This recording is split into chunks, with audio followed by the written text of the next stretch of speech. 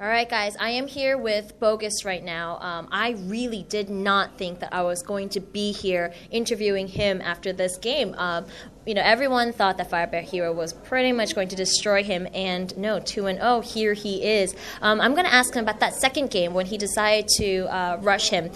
Was that a planned thing, or did he just do that because um, he had been, uh, Firebat Hero did that to him in the first game?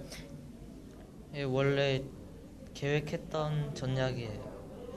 Okay. Actually, he said he came and he prepared that uh, for the second one. It wasn't anything in revenge or anything like that. The second question I was going to ask him is about the GOM Classic. He is now six and six and zero. He has made himself way from uh, the round of 256 all the way to now six consecutive wins. Um, I'm just wondering if he thinks he's going to be able to take home that prize of the most consecutive wins ever.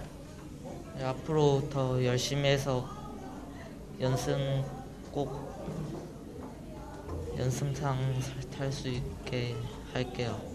Okay, he said he's going to try as hard as he can to go ahead and win that prize for the most consecutive wins um, in the GOM Season Classic 2. And that last one, I guess, um, you know, I'm wondering, yes, he's going to win it, but how far does he think he's going to go?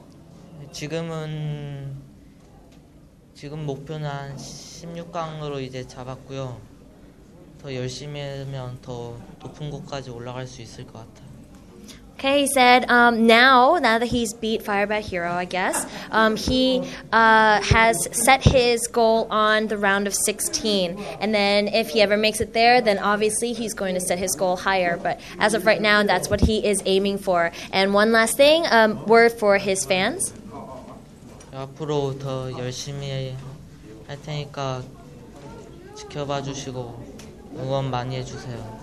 Said in the future he plans on doing um, even better, so please cheer for him and continue watching him in the future, and that'll be it. 감사합니다.